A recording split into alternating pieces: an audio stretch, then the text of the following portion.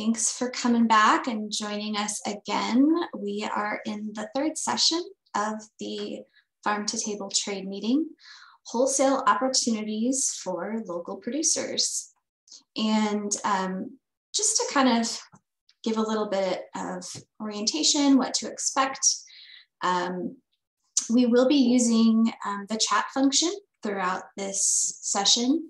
Um, if you have questions, please feel free to uh, send them to our hosts. Um, if we have time at the end, then we will take some questions and answers.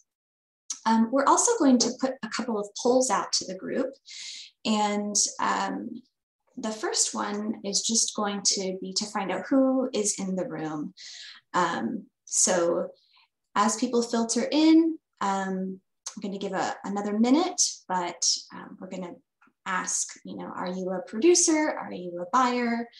Um, and just get a sense of who's here and we'll share that back out to the group. So you should see that poll pop up on your screen and go ahead and take a second to fill that in and send off your answer. Appreciate it.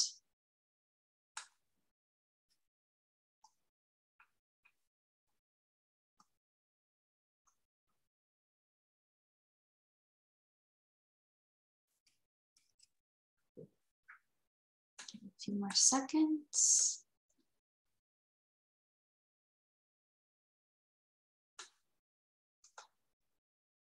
And we have a great group today. Um, we have a panelist uh, panel group. Um, and if you haven't had a chance to check out um, on the Sustainable Connections event page, um, all of the bios for all of our uh, panelists are listed there. I'm going to post that in the chat if anybody's curious, you want to visit it later. Um, and we'll also be sharing out information from the entire day and a whole bunch of resources. But um, if you're curious, you can take a look at the um, bios of all of our panelists today. And um, so I think We've got everyone answered the poll. Um, and Elias, does this get shared out or do I just read it out? Sorry, I haven't done this before. I'm I'm not actually sure, to be honest. Maybe if I click end poll. I don't want it to go away though. uh, so I'm, I'm going to read it off just in case. Hopefully it shows up afterwards. But um, We've got 43% producers in the room, um, farm producers. We have 22% manufactured producers, and then 43% uh, others. Um, and then we have uh, people are still completing the second poll. Um, so we'll give that a second.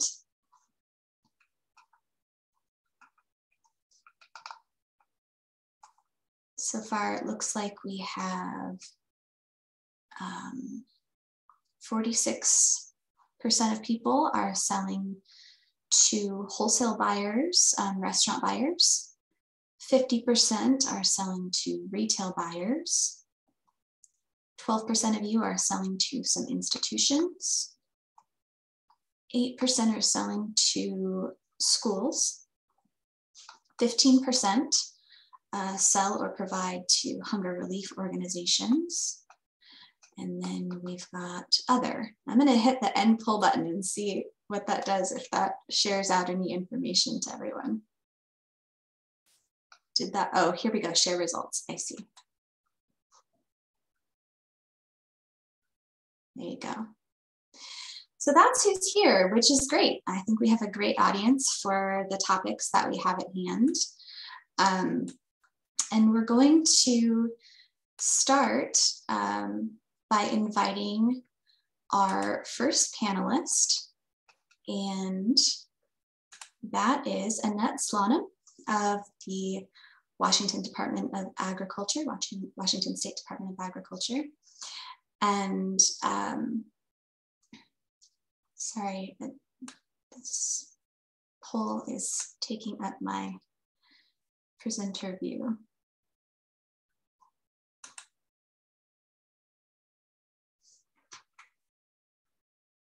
Thanks for being patient with me. Okay. So uh, we have today Annette. Um, she's here from the Farm to School Purchasing. She is the Farm to School Purchasing Grant Specialist with WSDA's uh, Regional Markets Farm to School program. She joined WSDA in August of 2022. Oh, that's not quite right. 2021, I think. Is that right, Annette? Um, after graduating from the University of Washington with a master's in public administration. Annette has over seven years of farm to school and local food system experience, including work for a local food hub, doing outreach and sales to schools and other institutions. She will be sharing with us about the unprecedented funding and support available both to producers and buyers to support local, local food procurement. Ooh, I am a little tongue tied after lunch today. Okay, thank you. And um, with that, I'm going to invite Annette to um, join us and I'm going to start sharing your slides. You can just let me know when to advance them. Great, thanks Maressa. Um, it's great to be here. Um, as Maressa mentioned, I am with the Washington State Department of Agriculture's um, Regional Markets Program. Uh, I specifically support our farm to school work, but I'm going to be talking a little bit about um, local procurement opportunities available um, in both the farm to school space and the emergency food assistance space. Um, so the main message that we want to communicate today is that there's quite a bit of money available um, in local purchasing right now, supported through um, through state funds, sometimes federal funds. Um, so these are market opportunities for growers in Washington to find buyers that are specifically interested in sourcing, or in some cases required to source Washington grown products. Um, altogether, this, this represents a pool of about $50 million that's available now in purchasing uh, for the next year or two. Um, the first program that I work on is the Farm to School Purchasing Grant Program. Uh, this is a new opportunity. These grants go to uh, schools, childcare centers, and summer meal programs, uh, specifically for the purchase of Washington grown foods. And you can access information about the Farm to School program and those grants through the, the URL that you see there. Um, the rest of the programs that are on this slide, Farm to Food Pantry, TFAP, and the We Feed WA Pilot Food Program, are um, again purchasing opportunities. These um, grants have gone out to organizations, uh, different types of agencies or organizations that are purchasing food and um, are looking to partner and support um, Washington, uh, Washington producers.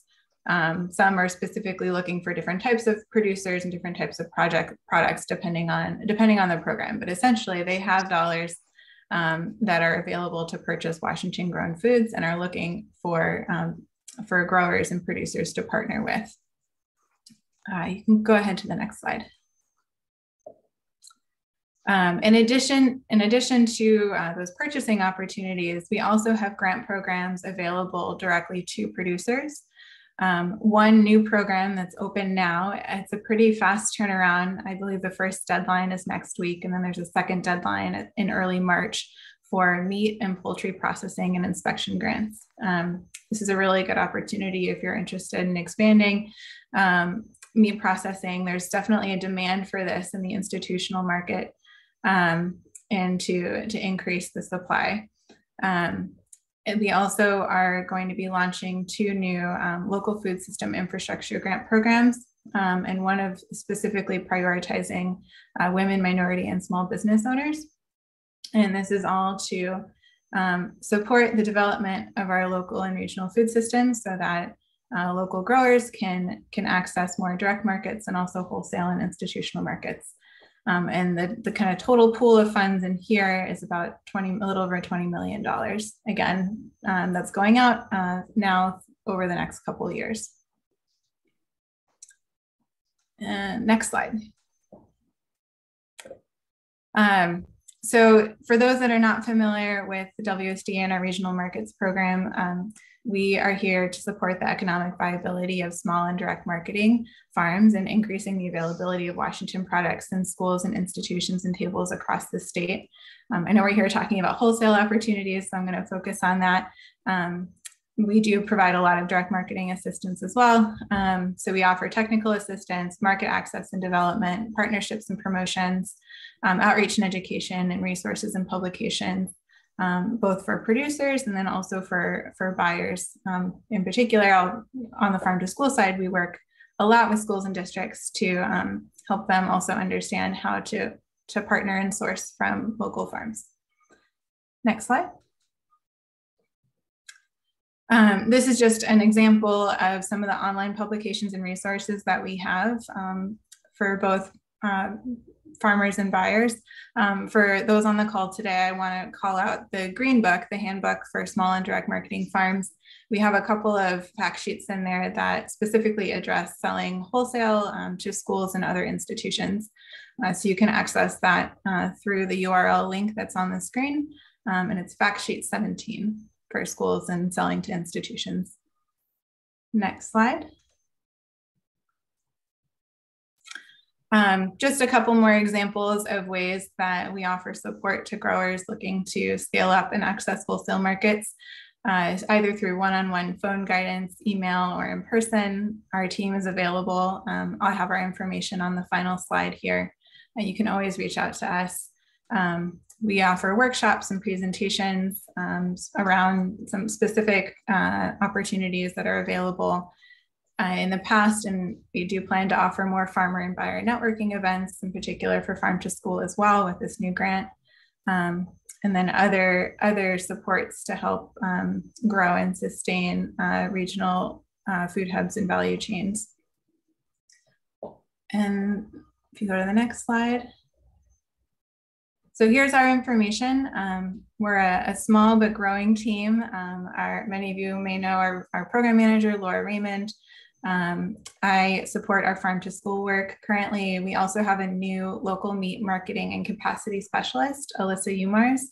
Um, she is managing that grant program. So if you are interested or have questions, you would reach out to her.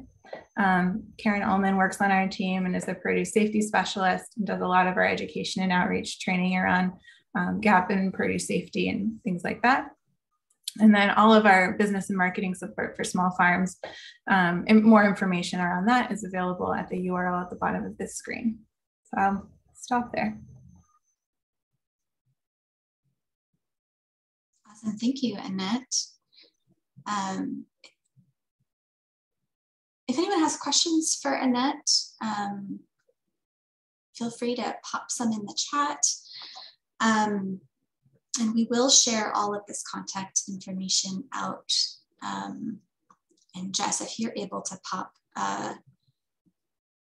uh, Annette's contact information into the chat, that'd be great. Thank you.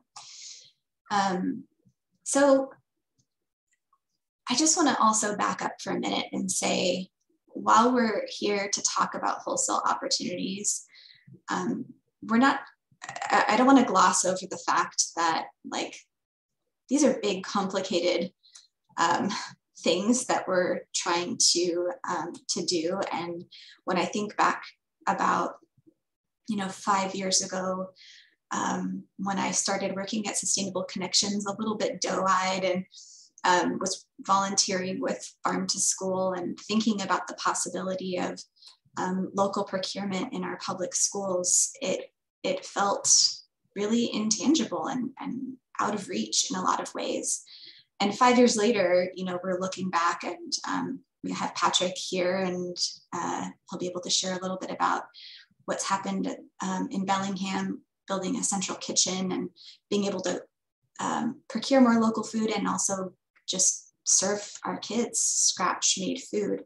Um, it, it takes time, but we're making progress and I'm really excited about it. Um, And so with that, I just thought I would transition and share that um, with all of these funds and opportunities that are coming down the pipe, um, WSDA and uh, the Eat Local First Collaborative um, teamed up over the past year to try and build some digital infrastructure to support these connections. Um, and we have Mark Bowman here who's going to share a little bit about um, research that was done on the Olympic Peninsula in terms of identifying what, what the barriers are um, for producers on the peninsula in accessing wholesale markets. And we know it's a challenge. Um, and one of the first things that we have heard from folks is just that it's really hard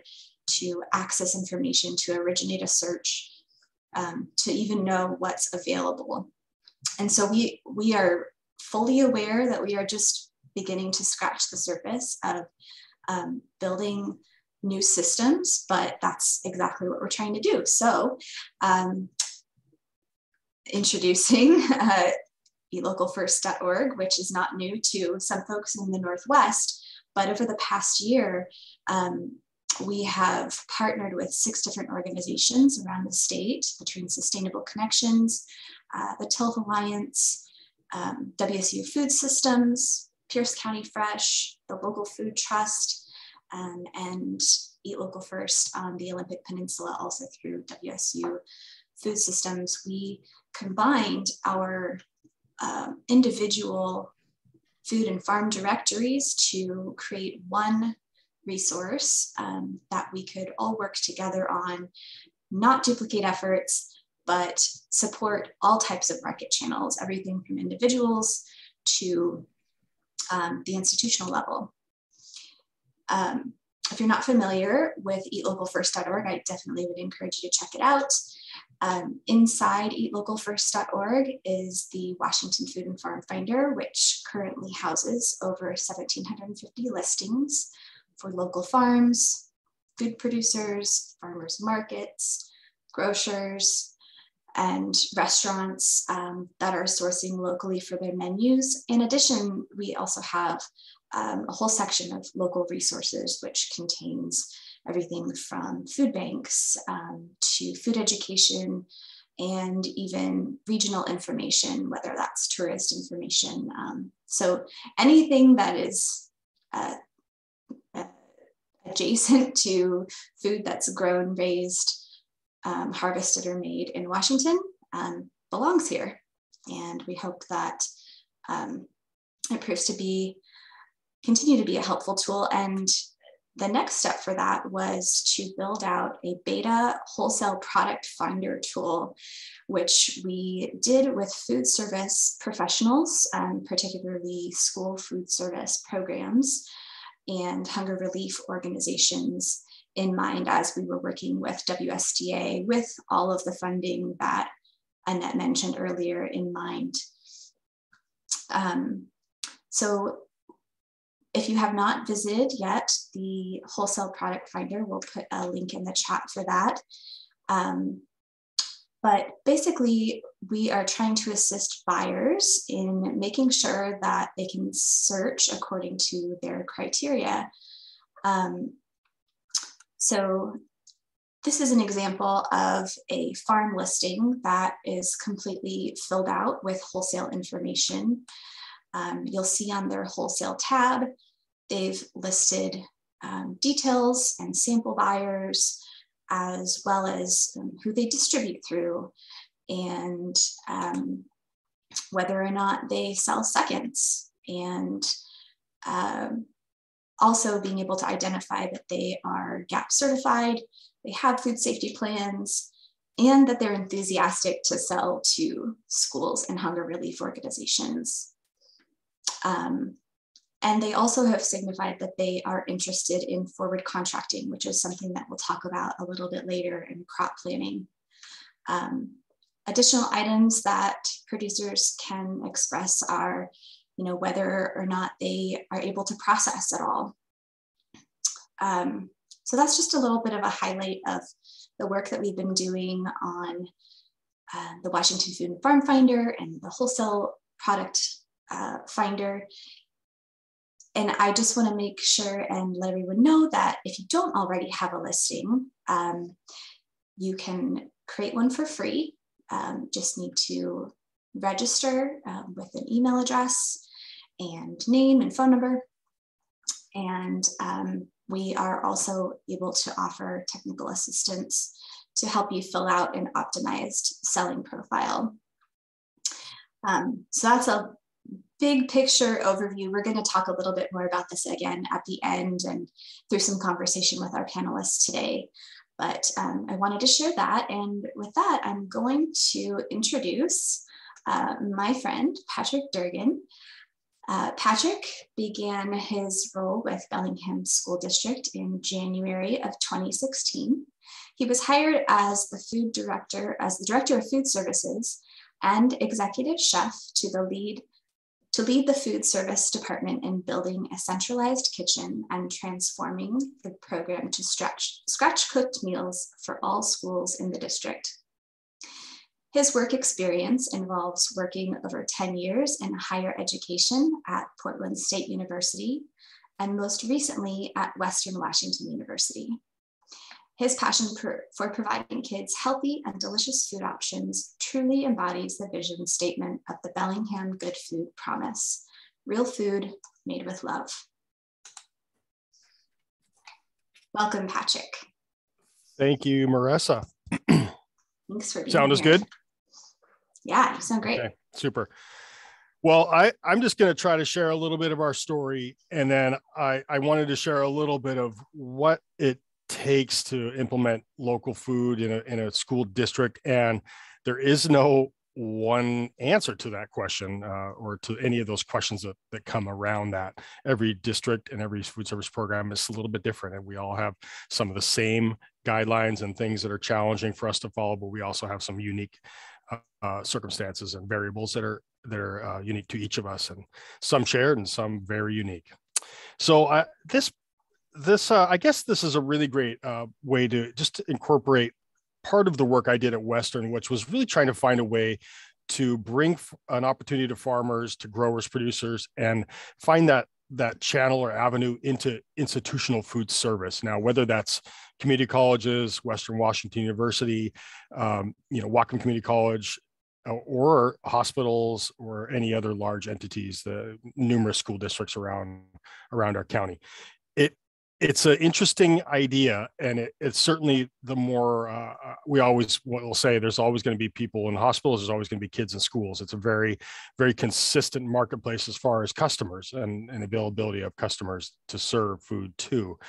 Some of the challenges of course are the guidelines that large institutions or large corporations work under whether that's a procurement procurement specialist rules and regulations, whether it's the uh, purchasing amounts that you're able to purchase under, in our case, federal purchasing guidelines, state guidelines, or local guidelines. They're, they're all those levels are things that we have to consider uh, right now there's a lot of money being out there put towards farmer schools just like annette was mentioning lots of lots of money out there. It's a really wonderful opportunity to start getting into uh, institutional food service if that's what you're trying to do.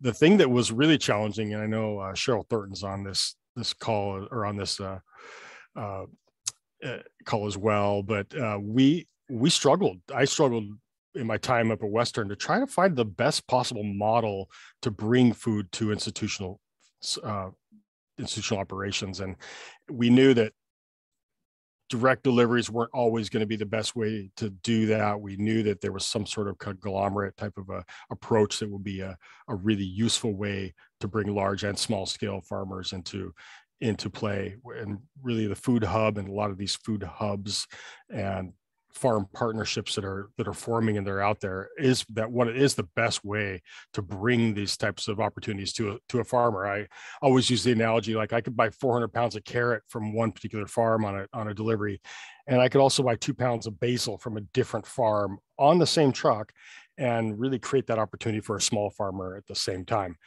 The one thing that's really challenging uh, in our world right now is is how do we make these purchases in a and make them in a way that that is allowed under our guidelines and this is something i've struggled with my whole time here at the school district is is what are the what are the restrictor restrictions that we have? What are the complications that we have?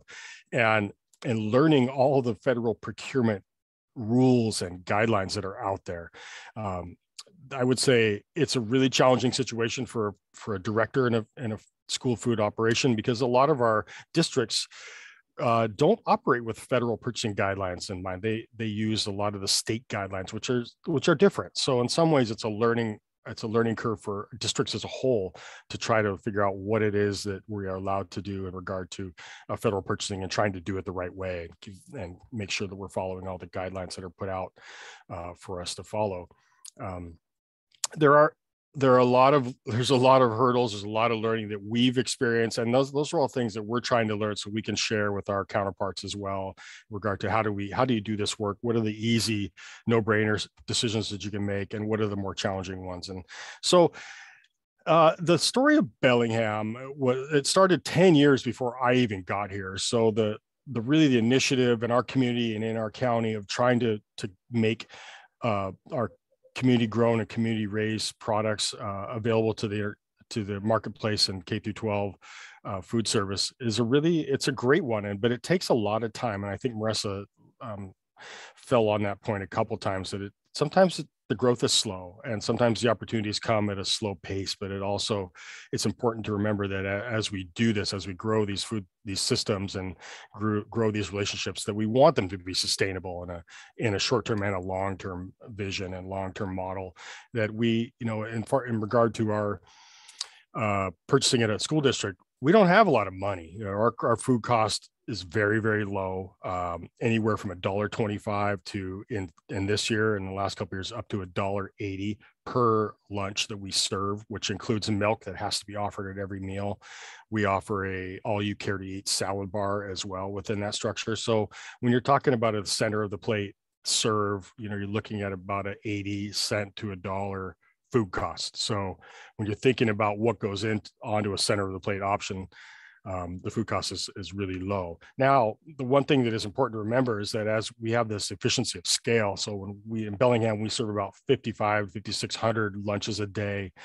We have salad bars that give kids lots of opportunity for choice, lots of opportunity for food education.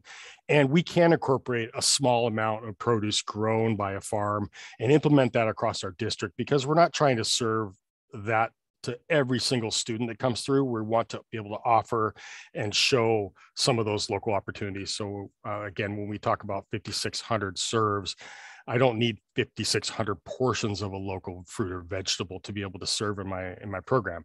We can find ways to kind of maximize the opportunity to spread that love out throughout our program and to make sure that that kids get the opportunity to make a choice and that's uh, there's a lot of there's a lot of uh, great things that come from kids making choices and i won't get into all of those reasons but they are they're paramount to to what we do in our program. Now of course the growing season oh sorry go ahead maressa. That's okay. Go ahead. Um i i'm probably one more minute if you have something and then you i'm bet. going to introduce so, um, erica and will. You bet some of the variables that you want to consider when you're thinking about getting into food service uh, into institutional is the growing season of course is fairly limited. We're in school from september uh, through june and you know we have a couple of months really in end of fall. That's those are things that are uh, good to remember. Um, value add is necessary for a lot of school districts. Apples grapes um, snap peas those are very easy for a district to implement because it's just a matter of washing and kind of putting out there. Carrots radishes broccoli allium, squash take a lot more work. So a small district may not be interested in those types of things. Uh, there are always ways to save on packaging. So if you package things bulk as opposed to bunches, bags, and boxes, that might be a good way to save some cost on both ends of those relationships. And in some ways, making really small purchases for a district is the easiest thing to do. A very a small purchase from a farm or, or, a group of farms is a really easy place to go. When you start looking at forward contracts that'll put purchasing over ten thousand dollars, things become a little bit more complicated. But those are those are all things worth working through if if the relationship is right. And one thing that I always want to stress is I'm not looking for anything free. If you can't make a dollar or a few pennies on your particular item to keep your business afloat, it doesn't do me any good to try to source from you because it's really important that we keep these relationships sustainable and ongoing over the years. So uh, there's so much to get into in regard to this. I'm happy to to talk through it. I know that there are a lot of great work. There's a lot of great work being done with community partnerships to find ways to help growers and help farmers get through these hurdles and to find the information that they need as easy as possible. Awesome. Thank you, Patrick. Um, and now I would like to introduce uh, Will Annett and Erica Lamson. Um, is my screen sharing the right one? Okay, interesting. um, so yes, I'd like to introduce uh, Will Annett, who has spent um, his entire 30 year career in restaurants, of which the last 15 have been spent as the owner and operator of Pizzazza, a pizzeria in Bellingham. Over time, he has increased Pizzazza's local purchasing from a handful of ingredients to spending between 60 and 80% of the business's total food dollar with local growers and artisan producers. He is passionate about making and serving delicious, accessible, and scratch made food for everyday people. And Erica Lamson is a nutritionist and food lover. Erica joined Will in the business in 2015 in her professional and personal life Erica's work centers around connecting people to nourishing, delicious food. She has diverse experience with many facets of the food, food system, from government to nonprofits to small business ownership. Welcome, Erica and Will. Um, and since we just finished talking with Patrick for a moment about, um, you know, his experience getting local food into schools and um, just shared a bit about how much you've been able to do. It's quite quite different, right? Um, I'm wondering, um, yeah, what's your reaction to that, and what's the, the progression been like for you in scaling up your food budget for local food? Well, I can start by saying it's a lot easier for us than it is for Patrick. If we want to purchase something, we just contact the grower and you know work out um, how that's going to get delivered and the payment and everything like that. We don't have um, all the federal and state regulations that Patrick has to deal with. So that's the beauty of being a private business where we're able to do that. So and then I'll let Will speak to how our local buying has ramped up throughout the years. Um, and it's changed pretty dramatically in the 15 years that we've been around. Yeah, a lot of it has to do with availability. So in the beginning, 15 years ago, um, you know, uh, I uh, I developed relationships with produce growers and and some some uh, meat producers as well. Um, but over the last, you know, probably five or six years, that ability has really ramped up because there's so many other producers um, and farmers um, to be able to choose from. Um, like cheese, there's lots of different cheese ma uh, makers and uh, lots of people producing um, meat and uh, lots of farmers producing vegetables. So the the opportunities are are uh, far greater than they used to be. Awesome, thank you. And we've talked a little bit throughout the pandemic about what your experience has been like um, in terms of a steady supply chain. Um, I know that you've mentioned not having as big of disruptions as other folks have. I wondered if you could talk about that a little bit. Sure. Um, so, you know, as, as you said in the introduction, we do you know, it varies seasonally, but between about 60 to 80% of our food dollars spent locally. So a lot of those are on our staple items that go into making pizza. So flour, um, Cairn Spring Mills, and cheese, Ferndale Farmstead, um, a lot of different meat producers, um, vegetable, etc. And, it, you know, throughout the pandemic, as supply chain um, issues came up, our access to those local products was has been completely steady. And um, you know, whereas there there are quite a few things that we're not able to source locally, and then we experience the same supply chain issues that everybody else has with packaging and and other things. Um, but with these core ingredients, that's been really helped stabilize us through the pandemic in terms of our access um, to these things. And so it just, the pandemic really has made clear for us that local purchasing, while it's this like feel good kind of thing and always has been, it's really a necessity when you're dealing with um, the kinds of disruptions and things that um, we've seen with the pandemic um, anytime you have um, more hands in the supply chain, meaning it's, you know, it has various touch points along the way from the time it's grown to the time it's consumed, those are all vulnerabilities um, that can um, disrupt things and make it harder to um, access those goods. So that when Daniel's producing, you know, he's milking cows and making cheese in Ferndale, which is 15 minutes away from our restaurant um, in Bellingham. That's a very short supply chain.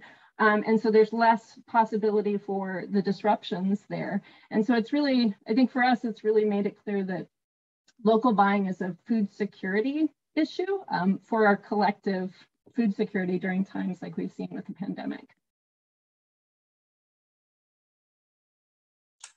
Thank you very much. Um, I think this is a great time. I'm going to introduce um, Mark, and I think we're going to come back to um, Patrick and Erica in a little bit. But um, I'm going to introduce Mark. Hi. Mark. Uh, Mark has lived and worked in rural communities his entire life. He has a bachelor's of science in agricultural business from Cal Poly San Luis Obispo. Agricultural, rural business, and First Nations lending was his focus for 17 years with the Farm Credit System and Craft 3, and is currently the Sustainable Agricultural Coordinator for North Olympic Development Council, where he works with farmers in Clallam and Jefferson counties, helping them overcome hurdles to growth. Prior to joining NODC, Mark was a rural economic development and lending consultant for seven years, working with small businesses, nonprofits, native CDFIs, and farmers. Mark also owns and operates a goat ranch in Port Angeles, selling meat to restaurants, grocers, and individuals. Welcome, Mark. And wow, that is a lot. You wear a lot of hats. yeah. Thank you. Thank yeah. you for being with us. Good. I'm curious, what's your reaction to the the two different um, wholesale buyer situations that we've showcased for folks here, and and is there anything in particular that stands out that you'd like to share from your experience with NODC? Yeah, actually, I'm I'm really good, glad to hear that Pizzazz is uh, Zaza. Pizzazza, thank you. I've not been up there before, uh, but my mouth is watering thinking about pizza. So um, I'm really excited to go up and try it. But um, I, am really glad to hear that they have had uh, steady uh, supply chains and and the importance of those close relationships with uh, local farmers and producers, uh, which has been uh, really key. And and definitely issues with the school districts, uh, their the limitations uh, and guidelines that have been put on them. Everything that has been said has just been so right on. Uh, one thing I'll quickly say is that oh, this last year, NODC with WSU Extension put together a, it's called a Developing Regional Wholesale Markets for Farmers on the Olympic Peninsula. And this is creating local wholesale markets. So we looked at it, with the assessment and barriers and recommendations that came out of that. And uh, a, a, couple of, of key things that uh, I really want to summarize, which kind of speaks to some of these issues. Um, so we interviewed buyers uh, of product, restaurants and grocers and institutional buyers. We uh, interviewed farmers in the two counties. And some of the things that we came up with it, um, there were some of the issues you know why is there barriers between more buying and selling of local products to local uh, restaurants, grocers, and institutions. So uh, a couple of things that came out of this is really interesting looking at both sides. One is that um, time, labor, and fuel are, are, um, are intensive for producers to deliver multiple small orders to multiple buyers across the Olympic Peninsula. So if I, you know, I'm a grower and I have um, uh, several restaurants, uh, how to coordinate all those deliveries on the same day in the right order um, and um, how to organize all of that. Um, you know, it's, it's a lot of work and effort.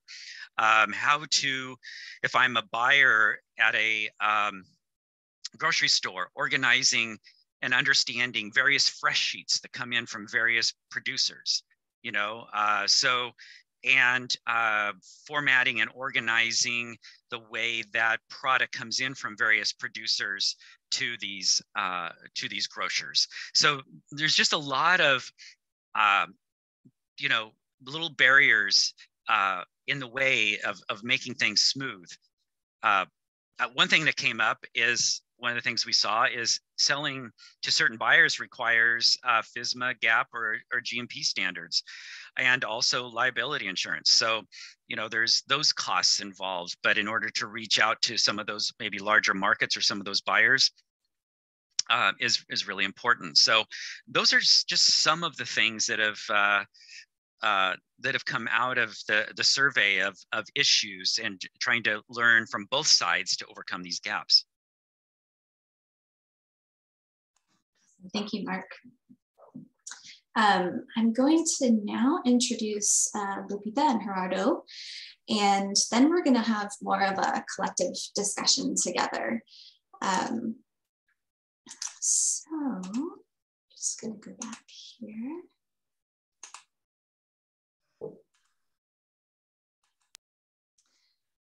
Okay, please welcome my friends, Lupita and Gerardo. Lupita Nava obtained a degree in informatics from the University of Nuevo León in Monterrey. I don't know if I said that properly, but that's my best effort, um, Mexico, and has worked for corporations like Coca-Cola as a systems analyst. Lupita and her husband owned and operated a corn tortilla factory in Monterrey, Mexico, prior to relocating to Washington state in 1997.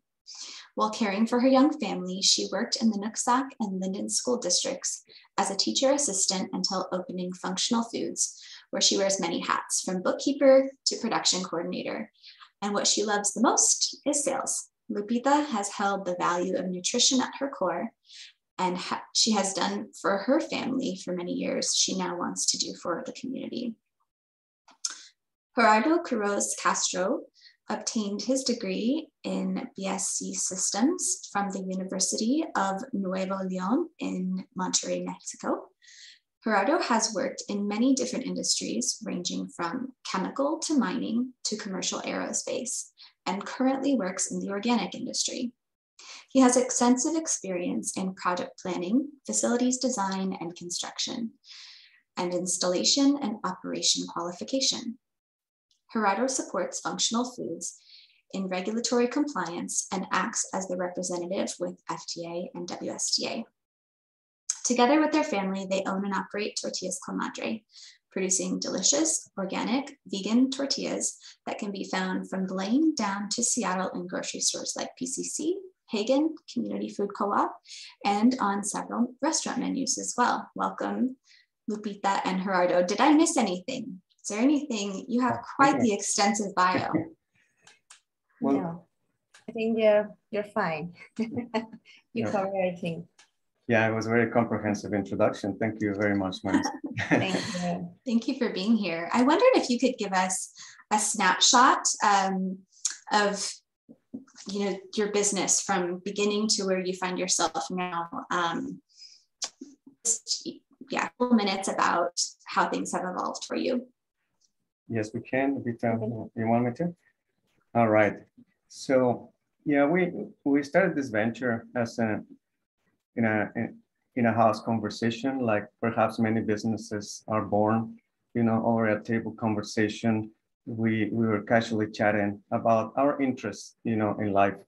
And Lupita, as you mentioned, has always been trying to, to, to share uh, healthy alternatives, especially with the family.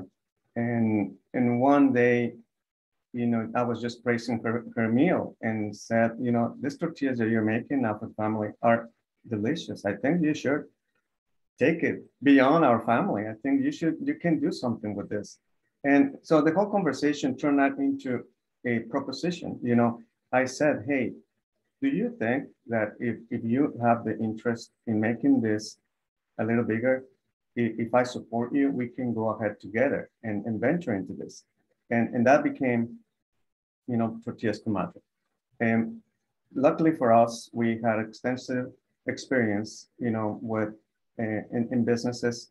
We were able to, to research and understand the mechanics of obtaining permits from uh, from different entities, from the city, from the state. And, and Lupita was very uh, researchful on this. And while I was at, at, my job, I was able to, you know, on a part-time basis, help her guide her through this. It took us a, a, a good couple years just to start the business. And the business started operations in 2017. And, and we had a, an initial business strategy that we wanted to, to go to every store available in the market. And very soon, you know, the, the our, our product is very dependent on, on tasting, sampling. But then when the pandemic started, that, that kind of made a big shift to the way that we were approaching business. And all of a sudden, you know, the sampling was prohibited all across the state in all the stores. And we found ourselves questioning, you know, what are we going to do now? How do we tell the people who we are and how do we ask them to try what we're making for them? And that took us to re-strategize what we were doing. And, and we decided to, if we were not able to sample and start slow and, and, and, and reaching uh, store by store, county by county, well, let's, let's start and, and, and broaden our, our channels.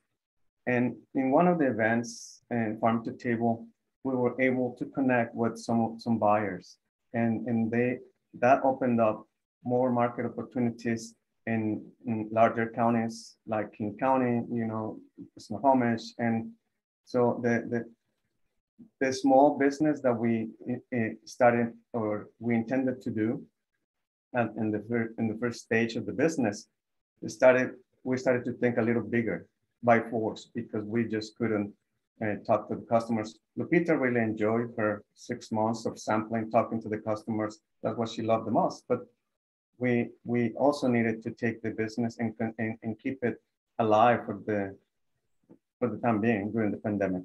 So that took us down to Seattle PCC market. We were able to connect with some of the buyers. We we connected with some some buyers at restaurants, not institutions yet, because our business also started small because our plan was to start in, in a small market.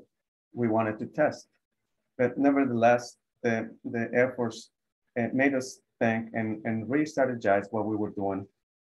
And a year ago, we made a decision that perhaps uh, it would be better for the for the company to, to survive, to go bigger than what we were. And we decided to invest some of our, our money, our savings, and, and make the company bigger to continue to increase the outreach. We didn't know what the pandemic was going to bring to all of us. And it was upon us, and it had been already a year and, and closed doors. We couldn't go out anywhere. So just distribution. So we needed more distribution. So that was the big challenge.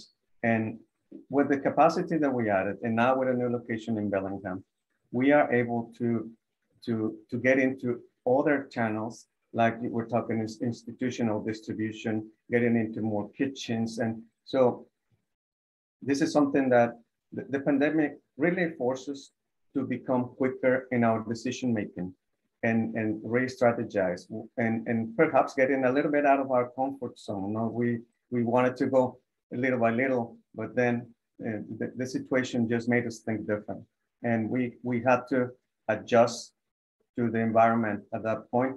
And so far, and we've been in, in our new operation in Bellingham for, for three weeks, and we've been successful, uh, at least in the first production runs.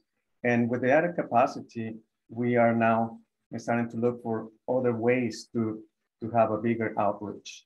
And, and we thank you for the opportunity for being here, speak about our, our situation.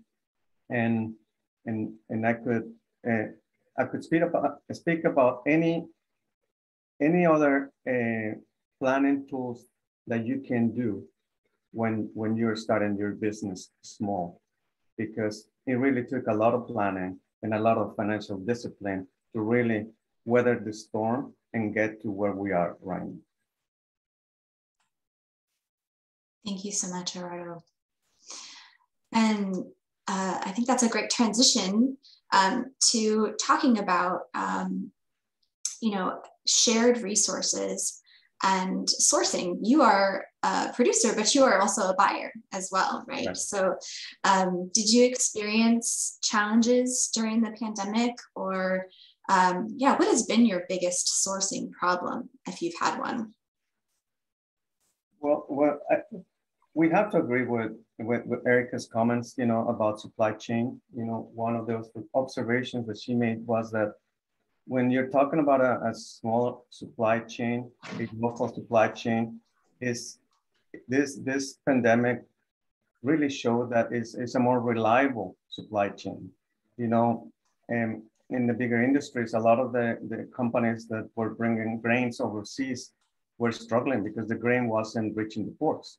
So in our case, you know, partnering with local farmers, local mills, you know, as, as same as them, we're using Cairn Springs and some local oil producers uh, for to source our some of our main ingredients and allow us to, to stay without disruptions at all.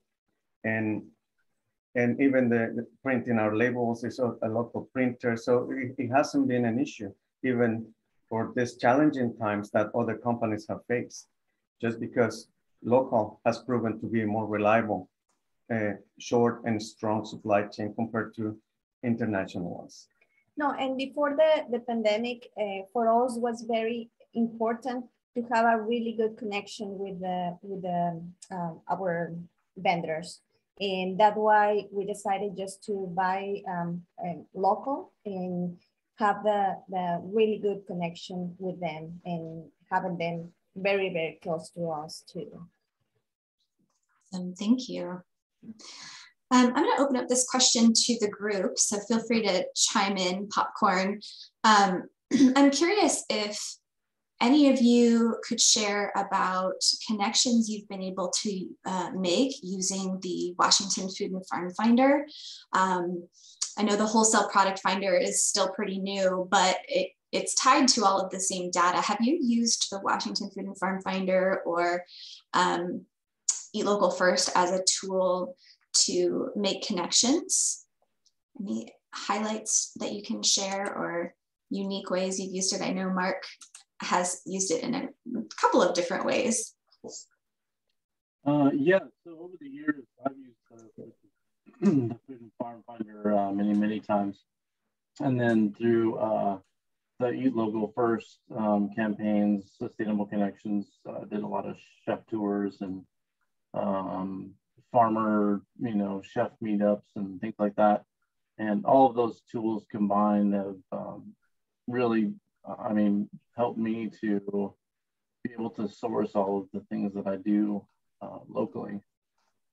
So yeah, definitely the it's a it's a very good tool the the food and farm finder. Thank you. Mark, did you are you able to share um, from the different hats that you wear, the different ways that you use it? Maybe not the obvious. Yeah, I'll use. I'll talk about the Food and Farm Finder as a producer. So I'm I'm a meat goat producer, USDA. I try to be for the most part, and uh, so uh, I use it to to list uh, product for uh, potential sale. Um, I don't know if any of the buyers that I've worked with have said that they have actually used uh, the Food Finder as the source. uh, for finding me. Most of it's been word of mouth, I think, or relationship building. Uh, the other way I use it as a producer is when I'm actually looking for other producers similar to me, so we can maybe collaborate on shared inputs. You know, other other producers hey i'm you know going to be ordering this product or these things or i'm i'm heading into kidding season and i'm buying you know this mini bottles or this kind of stuff does you know. So i, I use it to reach out uh, to find other producers like me for um, uh, for shared inputs for the most part or, or to collaborate on or maybe hey i'm going to the uh, sales yard uh, do you have some animals uh, from your place that you want to deliver this time of year? So you know uh, so there's a lot of different ways to be able to use the to use that tool. Awesome thank you and Annette, I don't know if you wanted to chime in at all. Um, any feedback or experience you've gotten as we have just launched the wholesale product finder? Um, have you heard any feedback from folks on interesting ways they've been able to use it? Yeah, um, so we've just launched the, the wholesale directory as a tool that wholesale um, school food buyers and emergency food um, buyers can use to locate farms. We've been hearing that it was they want to buy local, but they don't know where to find farms or where to buy it from, um, and there wasn't an easy way to search. So uh, we've just started sharing that information out. Um, I haven't gotten a ton of feedback, but I personally find it really useful um, when schools come to me or districts come to me and say, we're looking for this particular product or we're looking just to see who's in our area. Um, oftentimes, the types of advice we give before is check out your local farmers market, you know, you could Google farms in your area, but now we have this really nice curated list um, of farms that have indicated their interest in selling wholesale to schools with the specific products, their certifications, um, you know, their distribution capacity. So that information is readily available through the finder, and and I've used it when when districts reach out to me and say, who can I who can I buy from? Um, or and it's not you have to buy from people listed on the site, but it's just another tool um, that, that we can use to help build those connections. Awesome, thank you. I'm curious, um, just really quickly, if Mark, Patrick, Erica, Will, if you have any um, anecdotal uh, success you can share about forward contracting or, or crop planning. So, for example, um, Will and Erica I know you mentioned needing to look for basil and um, being able to use the Washington Food and Farm Finder, Finder to look up um, basil producers nearby. Have you been able to reach out then and you know contract with a grower for what your business actually needs? Um, yeah, yeah, we've uh, we don't necessarily have a contract, but we've sat down with farmers. Um, you know, Cheryl from Cloud Mountain when they were producing um, basil um, and now Rob at um, uh, Vertical, Fog. Vertical Fog Farms. Um, you know, and then uh, Anna from Osprey. You know, we we say we need you know 200 pounds from of basil during the season from this particular grower. You know, we we actually need about 600 pounds a season, uh, and so it takes a few a few growers to kind of get up to that amount. Um, and so it's good to um, um, discuss those things earlier in the season so they know how much to plant um, and that they know that they have a market for for planting all of that. Um, so I think that uh, definitely those relationships are important. Um, but as far as contracts, we, we don't actually use any sort of, you know, like if you don't produce that much basil, then you know it's it's um it's more of just the relationship. I, this is Mark. I want to piggyback on something Will just said, is which is really important, and that's time frame. Uh, let's just you know just crop producers, annual crop producers. Um, you know they need advanced planning uh, to know in the fall to know how much to plant. It's it's kind of hard for, if their product is committed already in April, May, June to for a buyer to come in and say, hey, you know, um, I'm looking for basil or whatever well you know their their product may already be committed. Um, I, i'd say it's it's even longer with meat producers. Uh, you know if i'm a i have a certain number of does I, so i have a certain number of kids each year and 12 months later they're to the age to that they can go to market but you know that it takes time for uh, if somebody comes in and says hey i want to you know um, some goat meat for a restaurant or a grocery store or whatever that's above and beyond well it's like do i buy more does so that they can have more kids so that i can wait 12 months to uh, raise these kids to market weight and then get on the schedule for usda processing? So um, advanced planning and advanced notice, especially for meat producers, is really, really key. Uh, you just can't, you, you know, you, you only have so many animals, and and in a growing market, as we come out of COVID into a growing market, I shrunk during COVID because I was really un, unsecure about USDA meat processing and also about where markets were going to be for goat meat. So I shrunk down. Well, now um, I'm at a point where I'm like, okay, mark, I'm waiting to see where markets open up. Well, it, it doesn't happen on a dime. So, you know, it takes a lot of advanced planning and a lot of advanced relationships to be able to fulfill market needs um, and, and new opportunities. Hence the need for the farm to table trade meeting to bring everyone together in the planning season and figure out how to set ourselves up for success. And obviously, the the key thread through all of this has been mentioned by everyone is the relationships. Um, the relationships from buyers to producers in, in the business to business sense, but also um, I love Lupita's story and I've seen her uh, at the local co-op sampling her product, right? And people connecting with her and her story and her passion for her product. And um, that's what it, that's what really motivates me in working with um, the local first collaborative is that it's so much more than just um, our, our database that's full of information that we can share we are storytellers and we are a group of uh, organizations across the state dedicated to sharing the story um, of local food and that there is a story behind every meal. Um, and with that, I am going to introduce um, Mariah DeLeo to join us and talk about some of the cool things that are coming up next. And by all means, Mariah, if you'd like to pull anything additional out of our uh, wonderful panelists, please feel free to do so. Thank you so much. Yeah, this was a really rich conversation. Um, as always, I'm so um, grateful and amazed for the amazing community you all put to, together. Um, my name is Mariah DeLeo, and I'm the Good Food Economy Program Manager here at Seattle Good Business Network. Um, and the Good Food Economy Program is a regional program. So despite the, the name of our organization, um, our program was really built around creating the kind of community that Sustainable Connections has, has brought up in the Northwest Washington area, but here for Central Puget Sound. So we really serve everyone serving Central Puget Sound, which really means uh, everyone here today, most people are selling into kind of our market. Um, and so but we haven't had as much of the same kind of robust um, networking kind of opportunities here.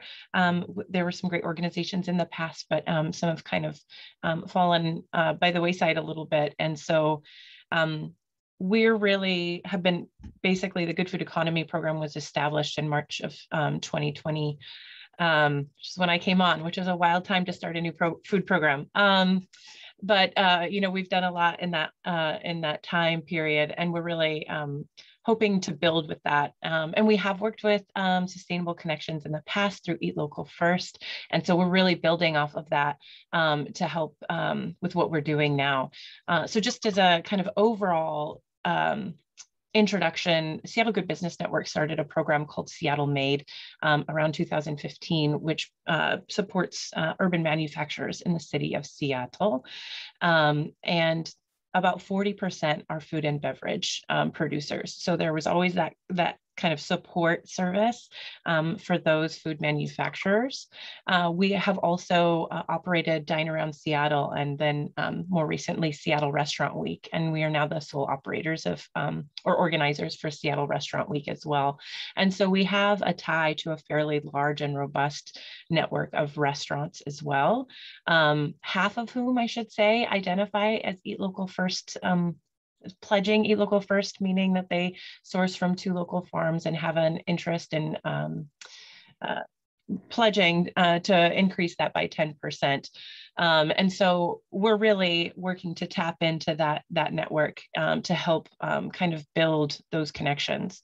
And so from Seattle Made and with Seattle Restaurant Week, we, we've kind of used that to help build uh, the Good Food Economy program, which really does that same networking um, the work of bringing people together connecting people from farm to fishery uh, food manufacturing processing distribution retail um, restaurants and uh, institutions. And so um, one of the things that we've built is an online platform called Good Food Forum, which seeks to do what these kinds of um, conferences do uh, throughout the year. So this is a place where people can come on and post what they have, uh, what they need and what they're offering, um, all in one big open space so that they can connect and create those sales relationships, but also resource relationships.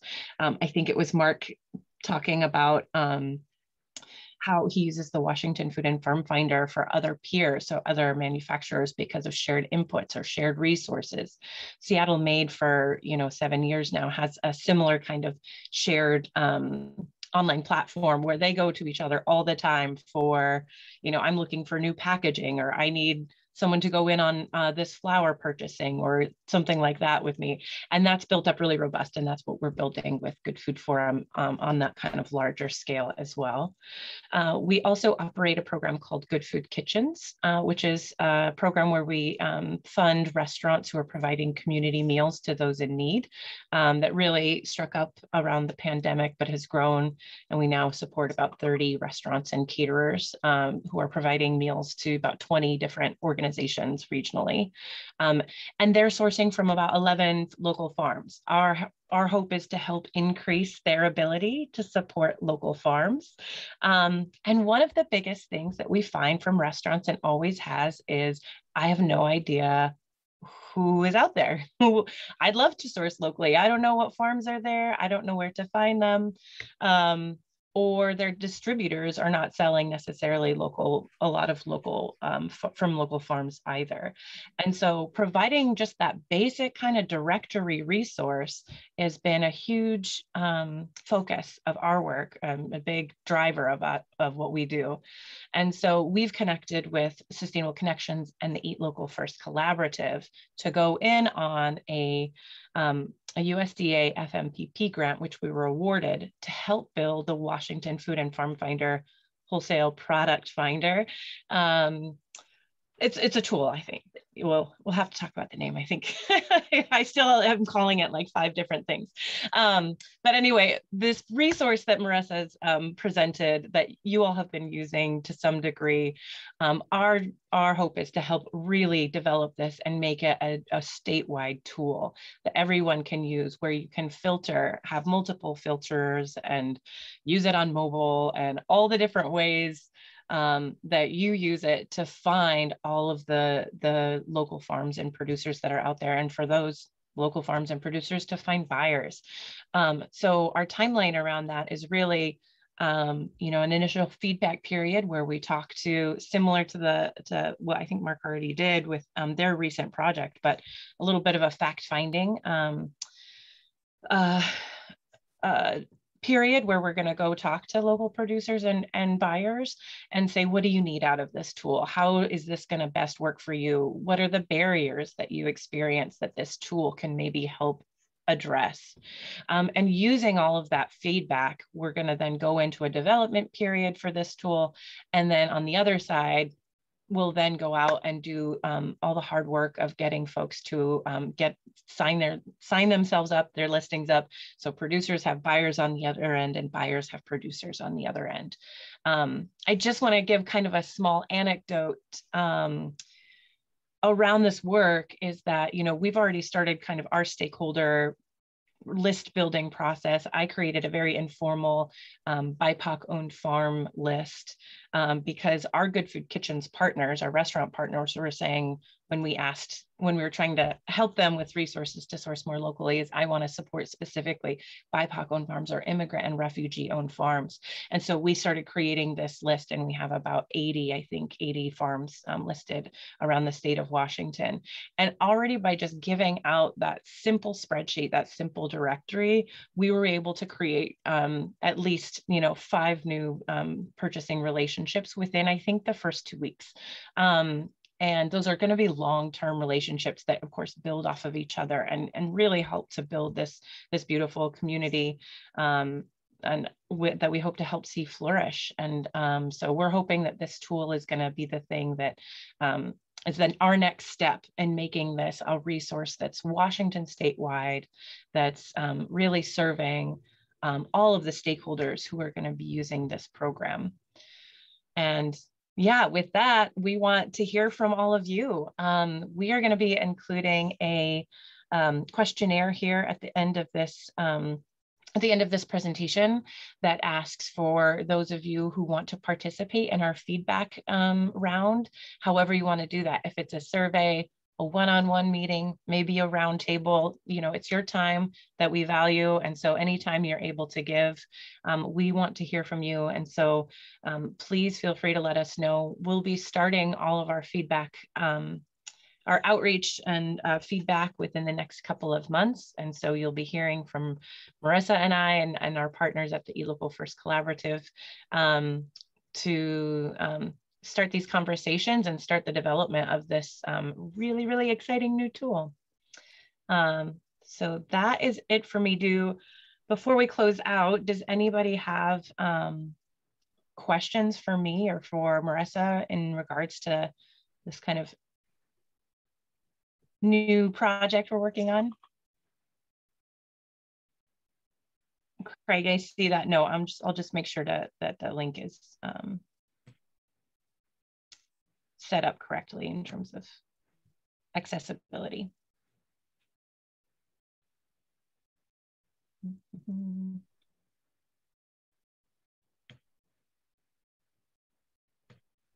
I think I cut off half the link. Sorry about that.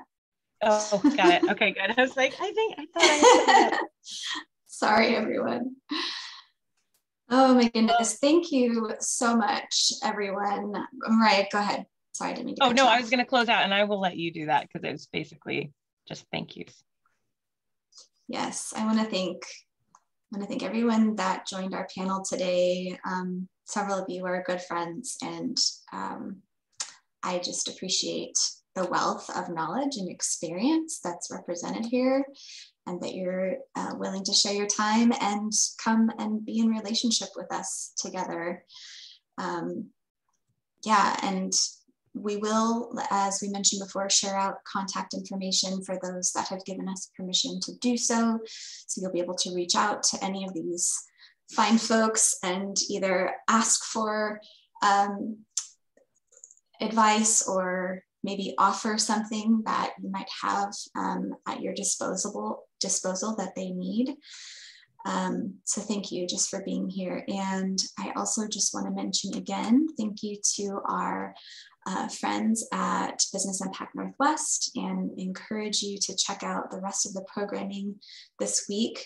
For Food Biz Week, there are a lot of great um, sessions and more good conversations to be had. And thank you to Mariah and Seattle Good Business Network for being so instrumental in bringing together um, folks from the Puget Sound region and um, want to thank our team as well. A lot of hard work and, and not enough time has been given to um, introduce Elias Saras, our new food and farming uh, program manager, and Jessica, our new outreach coordinator. But we are so happy to have them and have a full team once again. And who knows, maybe we will actually be able to do this uh, together in person next year. Um, and then I just want to also say again, thank you to our sponsors and our funders. Um, Whatcom Community Foundation especially funds so much of our work and makes it possible for us to do this event every year. And we hope that you will join us again next year. Um, and I am happy to stay on a couple more minutes, and I'm sure a couple other folks are too if there are questions. Um, but we are at 2.15. So if you need to go, please do so and um, stay in touch.